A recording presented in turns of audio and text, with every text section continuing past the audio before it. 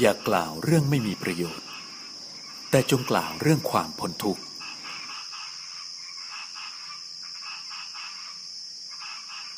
ภิกษุทั้งหลาย พวกเธอทั้งหลาย จงอย่ามัวสนทนาเรื่องขวางหนทางธรรม ติรัชฉานกถา คือ เรื่องพระราชา เรื่องโจร เรื่องอมาตเรื่องทหาร เรื่องของน่ากลัว เรื่องการรบพุ่ง เรื่องข้าว เรื่องน้ำ เรื่องผ้า เรื่องที่นอน เรื่องระเบียบดอกไม้ เรื่องของหอม เรื่องญาติ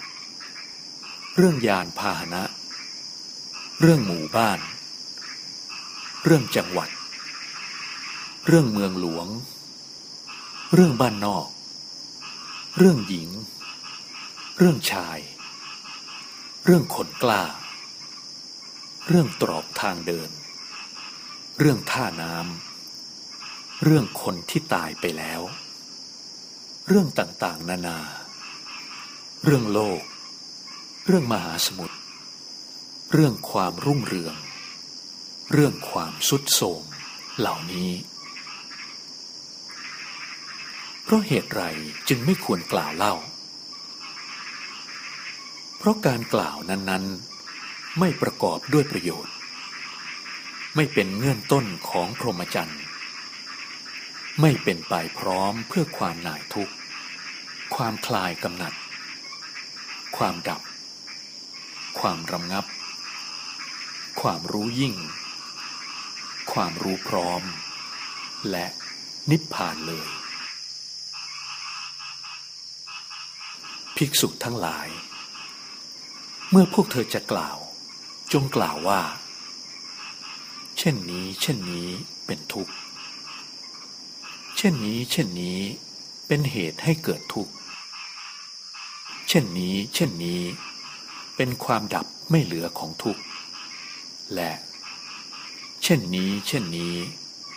เป็นทางเดินให้ถึงความดับไม่เหลือของทุกข์ ดังนี้ เพราะเหตุไรจึงควรกล่าวเล่า เพราะการกล่าวนั้นๆ ย่อมประกอบด้วยประโยชน์ เป็นเงื่อนต้นของพรหมจรรย์ เป็นไปพร้อมเพื่อความน่ายทุกข์ ความคลายกำหนัด